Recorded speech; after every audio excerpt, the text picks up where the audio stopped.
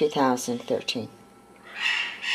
Um, this is the work that I've worked on for the last two months. That is going to go off today. Uh, this is my personal package right here, or per personal reference to my um, license, permits, affidavit from my uh, CPR, uh, um, and that she has done my tax for uh, internal revenue returns since 1991, where she also has uh, completed the farm form schedule.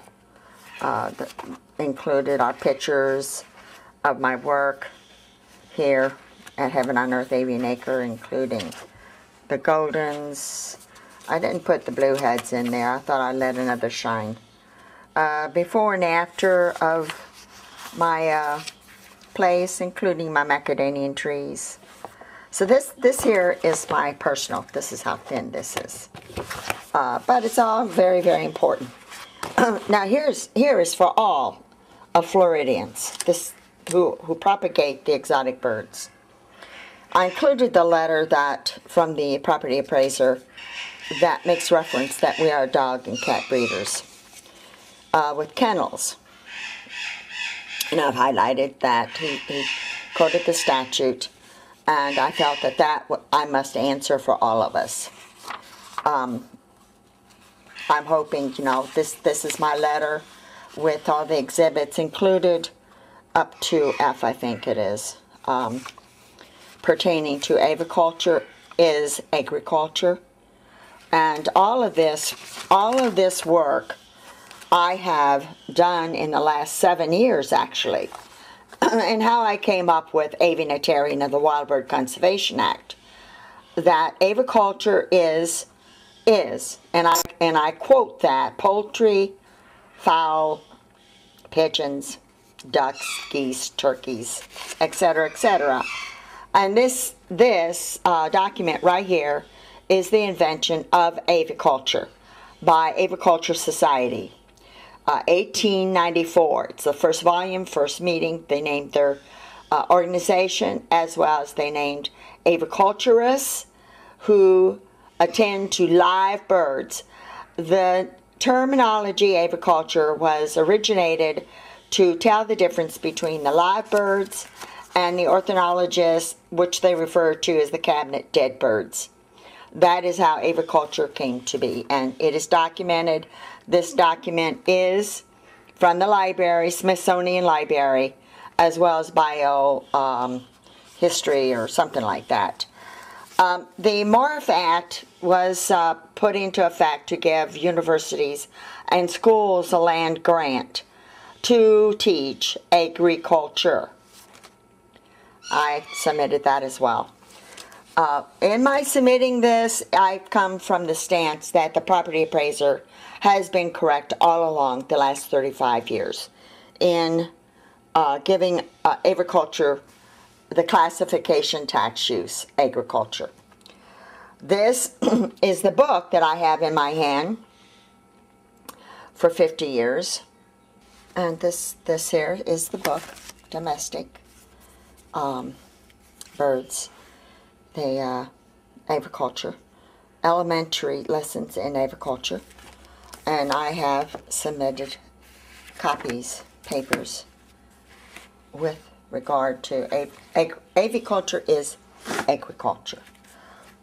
To assist, I have indexed for any questions, contents, preface, whatever, with the page number that uh, the Value Board and the Department of Agriculture can look through.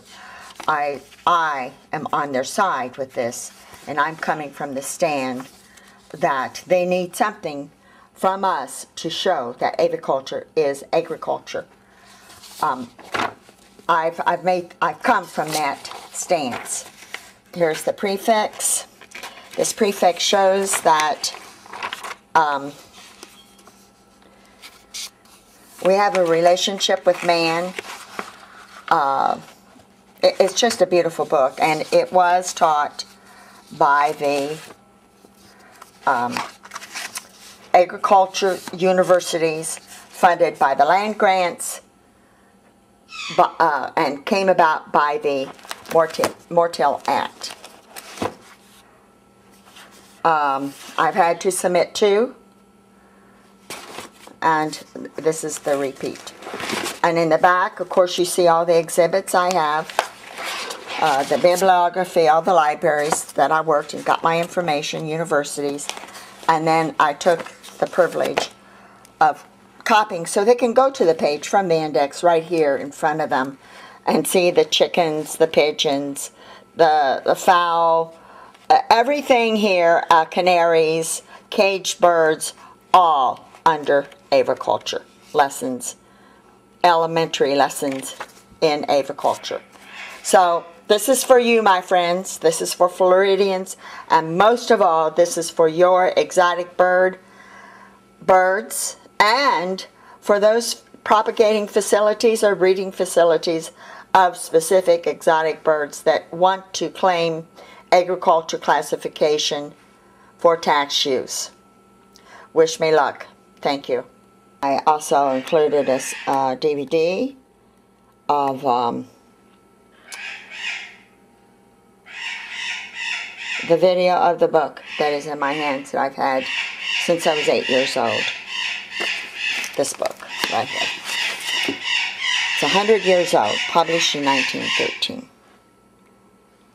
Um, and this is the book that led me to understand that we who propagate the rare birds, exotic birds, under the Wild Bird Conservation Act of 1992, that we had to be renamed other than aviculturists.